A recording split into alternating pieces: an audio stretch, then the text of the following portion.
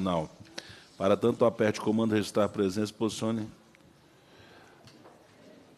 a presidência, nos termos do parágrafo 1 do artigo 132 do regimento interno, dispensa a leitura da ata da reunião anterior, considera aprovada e solicita a sua subscrição.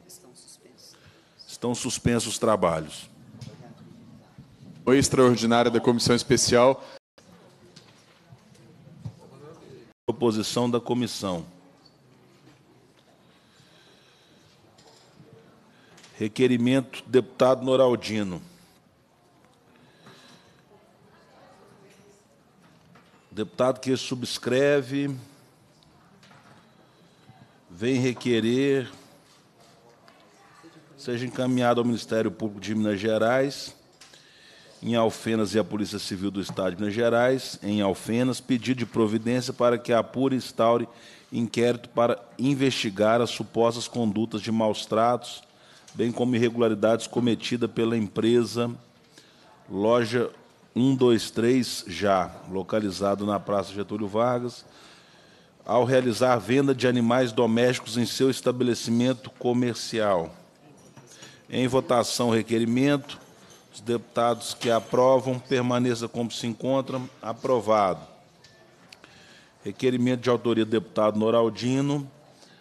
Deputado que subscreve, vem requerer seja encaminhada à Polícia Civil do Estado de Minas Gerais, em Esmeraldas, pedido de providência para que apure e instaure inquérito policial acerca das supostas condutas de maus tratos que vêm ocorrendo no canil municipal dessa cidade. Em votação, requerimento. Os deputados que aprovam permaneçam como se encontram. Aprovado. Deputado Noraldino requer que seja realizada audiência pública para debater os mecanismos e formas de efetiva aplicação das sanções administrativas previstas na Lei número 22, 231 de 2016, pelos agentes de fiscalização ambiental e demais agentes dos municípios no Estado. Em votação, o requerimento. Os deputados que aprovam permaneçam como se encontram. Aprovado.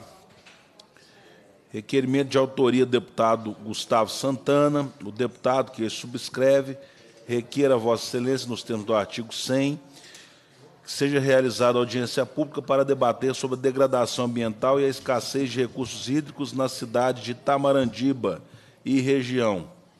Em votação, requerimento. Os deputados que aprovam permaneçam como se encontram. Aprovado. Indago aos deputados se existe alguma matéria a ser apresentada. Não havendo nenhuma matéria, cumprida a finalidade da reunião, a presidência agradece a presença dos parlamentares, convoca os membros para a próxima reunião extraordinária para hoje, 12 de dezembro, às 16h30, para apreciar o projeto de lei número 966 de 2019 em segundo turno. Determina a lavratura da ata e encerra os trabalhos.